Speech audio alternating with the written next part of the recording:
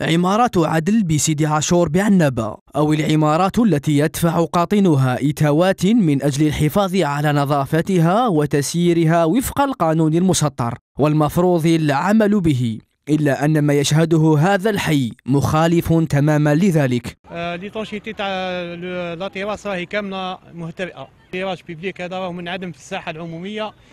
عندنا problème تاع les aires de jeux. les aires de jeux منعدمة تماما. راك تشوفوا الدراري الصغار تاعنا كيف يلعبوا آه. مصعد رانا نعانيو من جهة النظافة من جهة الأمن.